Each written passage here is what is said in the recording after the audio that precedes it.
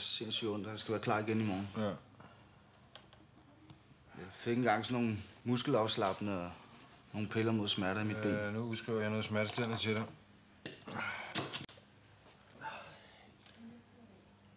Martin, du har kun ondt i armen, ikke? Har lagt også lidt ind her til stikker, ligesom. Det gør sindssygt masse. Du har også ondt i brystet. Har du nogensinde haft problemer med dit hjerte? Nej, jeg har aldrig. Jeg har bare lavet en forkert bevægelse. Okay.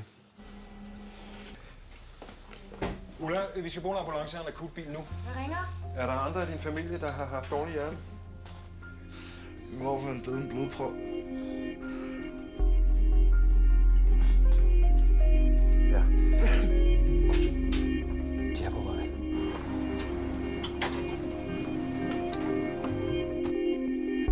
Simple nytteløs af denne verdensval er blevet mig.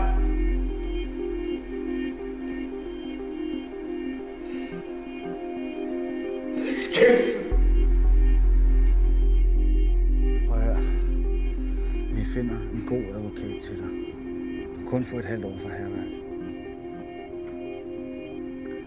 Jeg skal nok hjælpe dig.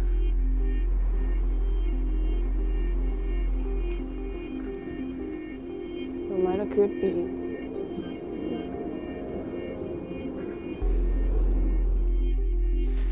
Kan du huske den? Hvor har du fundet den henne? Op for far og mors sommerhus. Er den ikke fin?